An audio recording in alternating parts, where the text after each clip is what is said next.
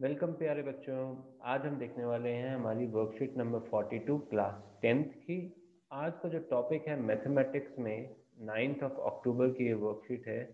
हम एक नया टॉपिक स्टार्ट करने वाले हैं, जो कि है टेंजेंट टूवर्ड सर्कल लास्ट हमारी जो वर्कशीट चल रही थी, वो थी हाइट एंड डिस्टेंस के ऊपर, और आपको एक इंटरेस्टिंग फैक्ट इसकी एंड ऑफ़ द वीडियो में आपको पता चलेगा कि कैसे हाइट एंड डिस्टेंस या ट्रिग्नोमेट्री और टेंजेंट टू सर्कल सेम है। बट अभी हम चलते हैं इस वर्कशीट में क्या दे रखा है। यहाँ पे इन्होंने बोला है लेटेस्ट रिकॉल रिकॉल इसलिए क्योंकि आपने छोटी क्लासेस में इसके बारे में थोड़ा बहुत पढ़ रखा होगा सर्कल के पार्ट्स के बारे में। तो इन द फिगर ये जो फिगर यहाँ पे दे रखी है राइट हैंड साइड में, वो पूछ रहे हैं कि यहाँ पर जो CD एक लाइन है, उसे हम क्या कहते हैं? तो अगर आपको याद होगा CD को हम क्या कहते हैं? कॉर्ड तो CD को हम कहते हैं chord chord to a circle और अगर आपको याद हो लॉन्गेस्ट कॉर्ड क्या होती है? लॉन्गेस्ट कॉर्ड होती है डायमीटर ऑफ़ द सर्कल यहाँ पर इन्होंने दे रखा है।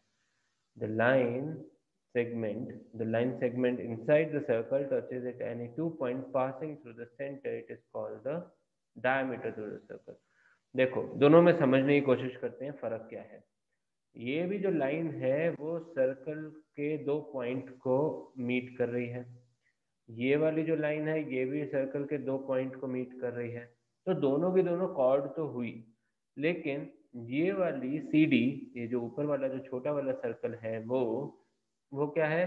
सेंटर से पास नहीं कर रहा। तो इसको हम कहते हैं कॉर्ड वेर एज ये वाला जो नाम है, यहाँ पे इन्होंने नाम नहीं दे रखा सपोज़ करो ए बी दे देते हैं हम इसको। ये जो ए बी जो है लाइन वो क्या कर रही है, वो कॉर्ड तो है, लेकिन ये सेंटर से पास कर रही है तो इससे कहते हैं सबसे लंबी कॉर्ड होती है।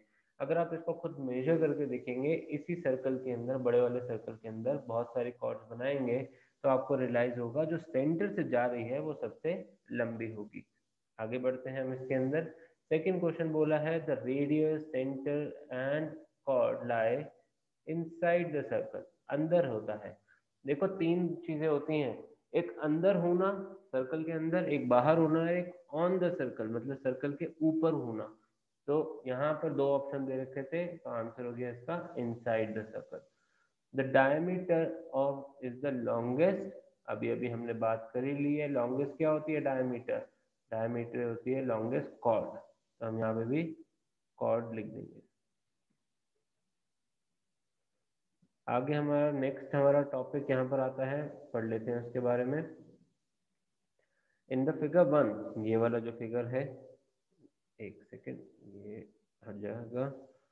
इन द फिगर वन ये वाला जो फिगर है the line segment lies inside the circle touches it at two point it is called the diameter of the circle in figure three ये वाली जो फिगर नीचे दे रखी है in figure three the line segment touches a circle at one point. अब जब कोई लाइन जो है, एक पॉइंट पे टच करती है, ये देख रहे हैं, एक पॉइंट पे टच कर रही है तो इसे कहते हैं टेंजेंट तो मैं इसको याद कैसे रखता हूँ? T for tangent T for touch ठीक है? T for tangent T for touch touch at any point तो ये जो पॉइंट पी होता है, उसे हम कहते हैं पॉइंट ऑफ़ कॉन्टैक्ट तो लैंग्वेज है लैंग्वेज समझने की इंपॉर्टेंट होती है. ओके तो ये क्या हो गई? लाइन कॉर्ड क्या होती है? Line segment. थोड़ा सा वर्ड्स को ध्यान दें। लाइन सेगमेंट क्या होती है? लाइन सेगमेंट वो लाइन होती है जिसको हम मेजर कर सकते हैं, जो रुक जाती है एंड पॉइंट होते हैं। वेरस लाइन क्या होते हैं? इसके एंड पॉइंट नहीं होते, आगे बढ़ती रहती है ये। आगे पढ़ते हैं, इसके बारे में क्या दे रखा है?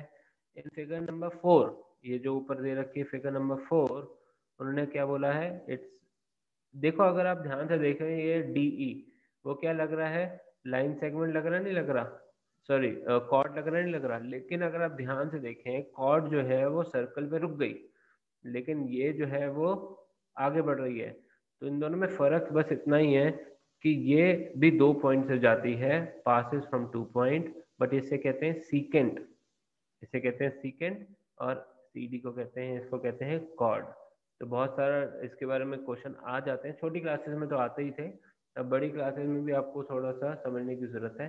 Secant is a line which passes through two points secant एक लाइन है जो दो पॉइंट से जाती है। कॉर्ड एक लाइन सेगमेंट है जो दो पॉइंट से जाती है बेसिकली आगे बढ़ते हैं। अब लाइन सेगमेंट है जो कहीं से नहीं पास कर रही, इसका कोई नाम नहीं है सच ये बस आपको समझाने के लिए है। तो तीन कंडीशन हो गई। कॉर्ड टेंजेंट और सीकेंट अब इन्होंने यहाँ पे कुछ डायग्राम दे रखे हैं। अगर आप ध्यान से देखें, ये सारे के सारे क्या हैं? कॉर्ड वेरी गुड और ये सारे के सारे क्या हैं?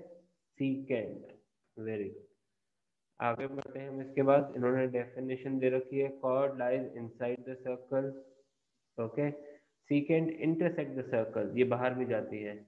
और टेंजेंट क्या होती है? Outside the circle chord touches at two point intersect at two point क्योंकि बाहर जा रही है, और touches at one point okay can cross the centre can cross the centre और तीसरा इसका हो गया नेवर क्रॉस द सेंटर क्योंकि अंदर आती ही नहीं है टेंजेंट टेंजेंट हमारा बहुत ही इंपॉर्टेंट टॉपिक होने वाला है। अब मैं आपको थोड़ा सा एक इंटरेस्टिंग फैक्ट बताता हूँ। फैक्ट क्या है, वो मैंने अपनी अलग से वीडियोस में भी कवर कर रखा है, ट्रिग्नोमेट्री की। Tangent is nothing but tan याद आया आपको? Tan theta okay tangent is nothing but tan theta और secant is nothing but sec theta मुझे कमेंट सेक्शन में बताएँ, अगर आपको ये बात पता थी। और अगर नहीं पता थी तो वो भी बताएँ, ताकि हमें पता चले कि हमने कुछ इंटरेस्टिंग चीज़ आपको बताई है या नहीं बताई। Okay the point common to the tangent to circle is called देखो, ऊपर हमने पढ़ा था, उसे कहते हैं पॉइंट ऑफ़ कॉन्टैक्ट क्या बोलते हैं? पॉइंट ऑफ़ कॉन्टैक्ट तो ये इसका आंसर हो गया। नेक्स्ट क्वेश्चन है how many tangents can you draw देखो टेंजेंट क्या होती है जो एक पॉइंट से जाती है सर्कल के। आप मुझे बताओ कितने पॉइंट होते हैं एक सर्कल के ऊपर? गेस करो। यस इन्फिनिटी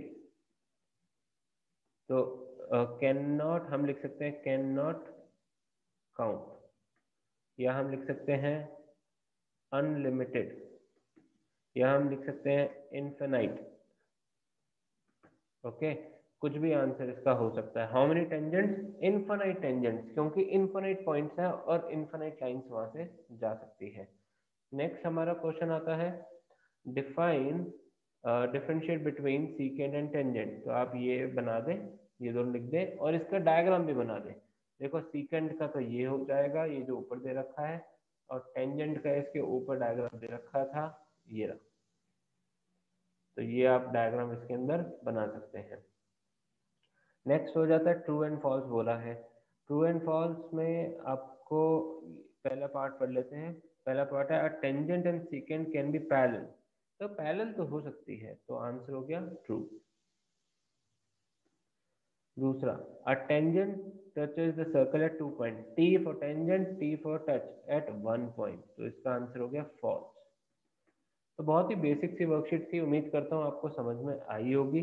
हम अगली वर्कशीट में देखेंगे इसके रिलेटेड कुछ क्वेश्चन और आपसे रिक्वेस्ट करना चाहता था कि आप बताएँ कि अगर आप चाहते हैं कि मैं एन e के भी सोल्यूशन दूँ।